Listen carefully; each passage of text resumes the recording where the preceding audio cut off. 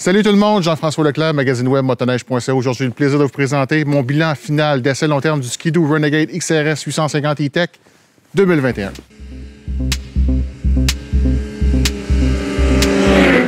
À l'aube de la saison 2020-2021, j'étais vraiment très heureux de pouvoir faire l'essai du Renegade XRS 850 E-Tech et ce pour plusieurs raisons.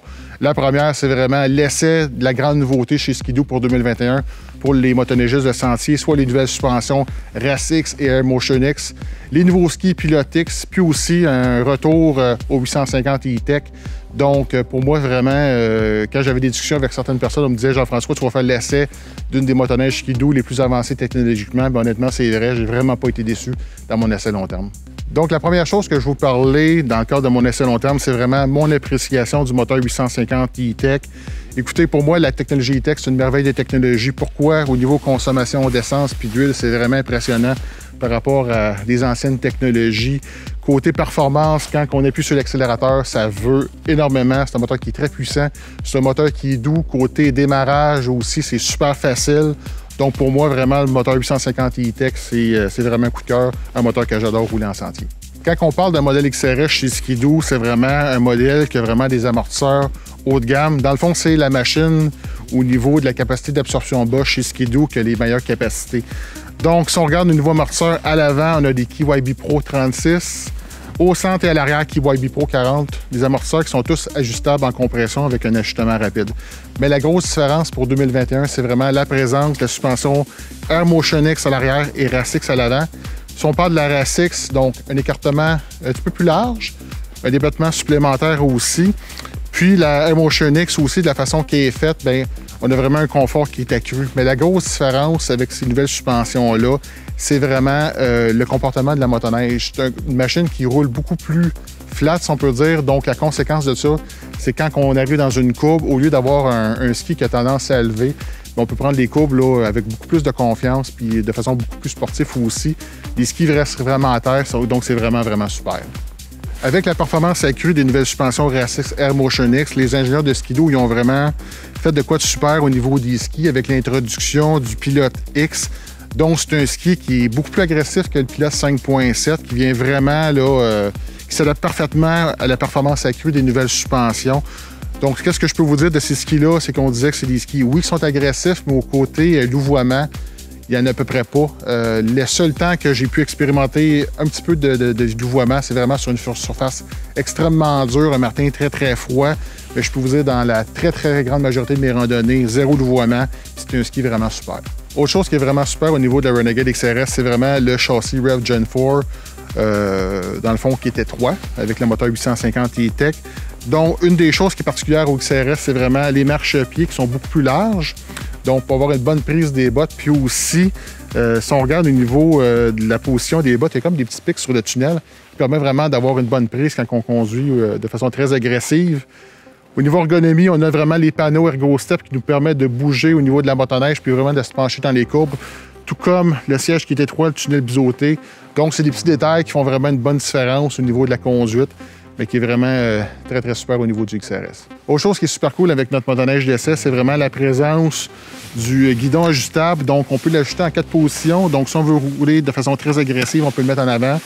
Pour une randonnée un peu plus relaxe en arrière, donc on peut vraiment personnaliser euh, notre expérience de conduite avec notre modèle XRS. Pour 2021, quand on commandait une Renegade XRS, qui est une motoneige exclusive du printemps, on avait le choix de trois choix de chenilles. Donc, pour notre essai long terme, on a choisi la Ice Ripper de 137 pouces par 15 par 1 pouce et demi. Et pour moi, c'était la première fois que je faisais un essai long terme d'une motoneige skidoo avec une chenille d'1.5. Je peux vous dire, j'ai vraiment apprécié que ce soit peu importe euh, les conditions, que ce soit un sentier dur, que ce soit un sentier avec la neige démêlée, euh, c'est une chenille qui performe extrêmement bien. C'est une chenille qui va être très avantagée aussi quand il va y avoir euh, beaucoup de, beaucoup de poudreuse, beaucoup de neige démêlée. C'est là qu'on va aller chercher un maximum de performance.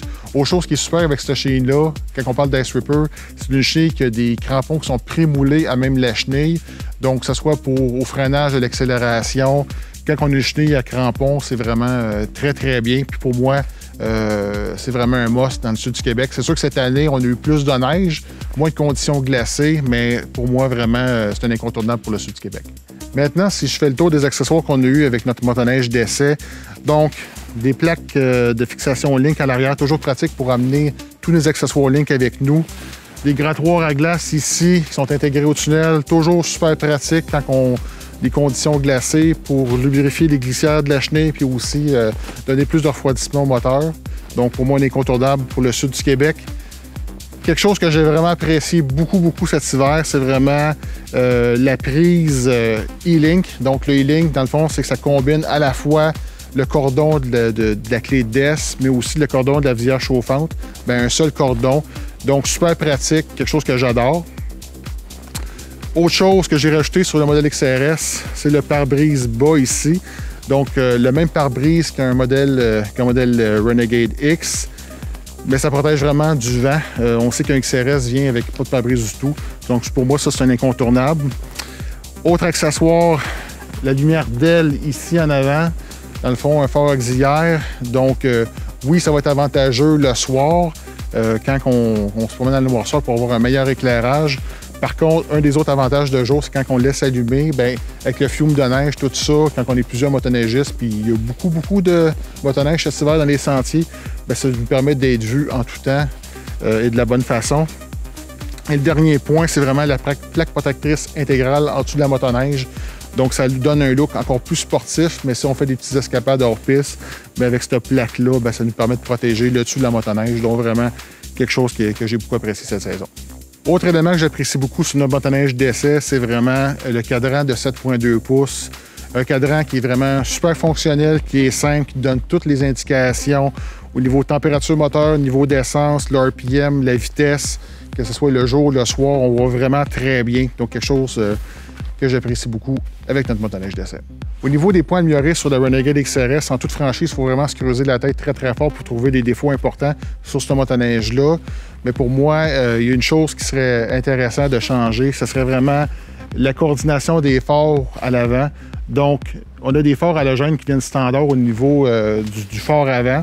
Donc, ce serait le fun d'avoir des phares qui, seraient au DEL pour avoir une coordination identique avec les phares au DEL qu'on a ici, que ce soit les phares auxiliaires ou les phares euh, latéraux aussi. Autre suggestion que j'ai pour la XRS, c'est vraiment au niveau des skis, des skis pilotés qui fonctionnent très, très bien. Maintenant, comme n'importe quel motoneige euh, qui n'a pas de liste ajustable, il faut vraiment jouer avec les ajustements de suspension pour avoir euh, euh, un ajustement qui, est le, plus optimal possible. Donc, les gens, s'ils veulent avoir vraiment le, maximum de performance puis d'ajustement, mais le ski pilote TX avec la, liste qui est ajustable, avec l'ensemble d'ajustements, je pense que ce serait vraiment pertinent pour ce modèle-là parce qu'on va avoir le maximum d'ajustement et de performance quand on conduit une XRS. Donc, en conclusion, je peux vous dire que j'ai vraiment apprécié mon essai long terme du Skidoo Renegade XRS 850 E-Tech 2021. Ce n'est pas une motoneige ordinaire, c'est une motoneige d'autre performance avec des capacités supérieures dans les bosses, quelque chose que j'ai vraiment apprécié toute la saison. Je vous invite à visiter notre partenaire, les motoneiges Géro concessionnaire BRP Saint-Jean-de-Mata, pour tous vos produits Skidoo, vos produits Lynx et aussi Canam hors route. Je vous invite à passer en magasin, les contacter. Et suivez-nous aussi sur motoneige.ca pour voir l'ensemble des articles et vidéos qu'on a produits cette saison dans notre cadre de notre long terme.